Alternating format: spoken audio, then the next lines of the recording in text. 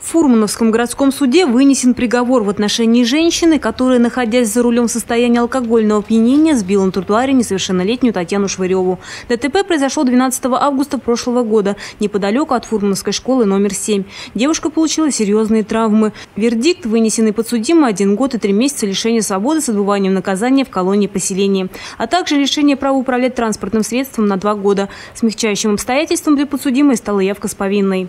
С учетом обстоятельств дела, большой общественной опасности совершенного подсудимой преступления, данных о личности Виноградовой, суд приходит к выводу о том, что достижение цели уголовного наказания возможно исключительно в случае назначения Виноградовой наказания в виде лишения свободы.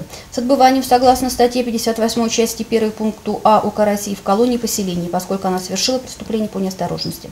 Также в судебном порядке был рассмотрен иск отца Тани Сергея Швырева о компенсации морального вреда. Родители девочки надеялись изыскать с человека, сломавшего жизнь их дочери, 5 миллионов рублей. Суд лишь частично удовлетворил это требование.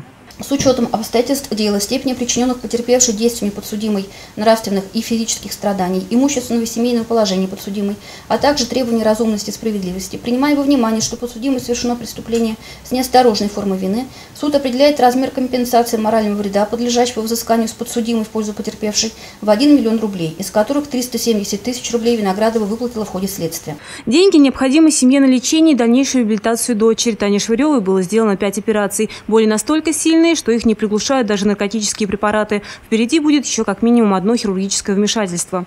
Конкретную сумму не скажу, но то, что много и постоянно каждый день эти траты, это да. То есть мы сейчас находимся опять в областной больнице, полное обследование проходим, поэтому траты продолжаются. Пока в законную силу приговор не вступил. У обеих сторон есть 10 дней, чтобы обдумать решение суда и в случае несогласия направить кассационную жалобу. Родители Тани Швыревой пока не готовы дать ответ, будут ли продолжать судебную тяжбу. Любовь Почерникова, Олег Милехин, РТВ Иванова.